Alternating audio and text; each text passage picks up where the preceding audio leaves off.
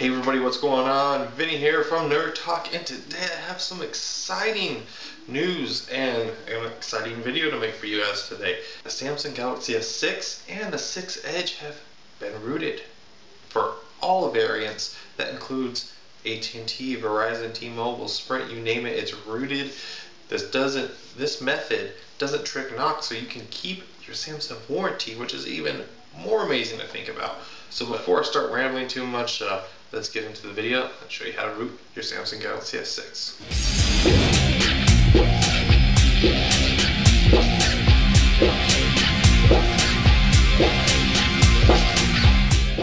Alright guys, so here we go, let's get into it. Just so you guys know, this is the Verizon variant, is the 16 gigabyte and it is the S6 Edge. However, this video will work for any Samsung Galaxy S6 or 6 Edge for any carrier. So first thing you're going to want to go do is go into your web browser. By the way, you don't need a computer for this method, which is also awesome. So you're just going to go over here to Chrome. I'll obviously be putting a link for this in the description below. However, it's called Ping Pong Root. All you're going to do is scroll down to the bottom here until you see the download section and we're going to download this party beta right here. Right now we're at 3.2.7 so you'll see up there it's going to start downloading.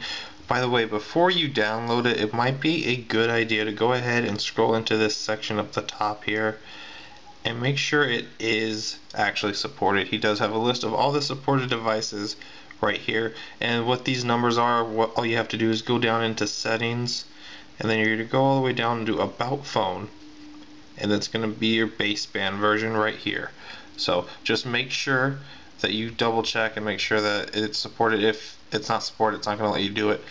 So, you know, if you try it, it doesn't work, because your device isn't just yet supported, but it will be in the coming days. So anyways, what we're going to do is you're going to make sure you have this application, RAR. If I can find it. So you're going to go download RAR. I'll put a link down below for this application as well. We're going to need that. So just go ahead and download that. And then what you're going to do is you're going to go to your downloaded party beta that we just downloaded on off of XDA. You're going to click on it here.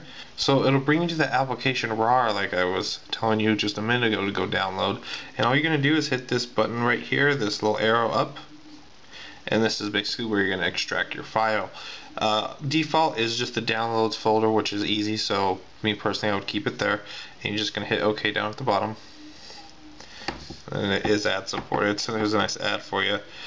And then you're going to go hit the home button, go into your applications, and you'll have a My Files application. You're going to need a File Explorer. Everybody has My Files on the Samsung Galaxy S6, so just click that.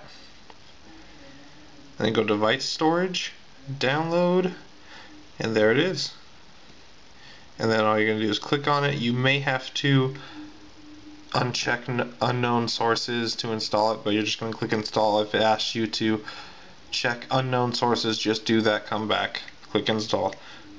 It's going to install, you're going to hit open, and hit get root.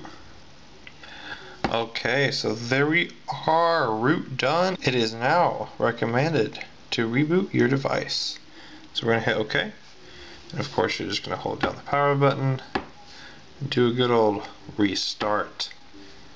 Alright guys, we're back now. The last thing to do, open up your phone, go into your applications, and then you're going to look for an app called King User.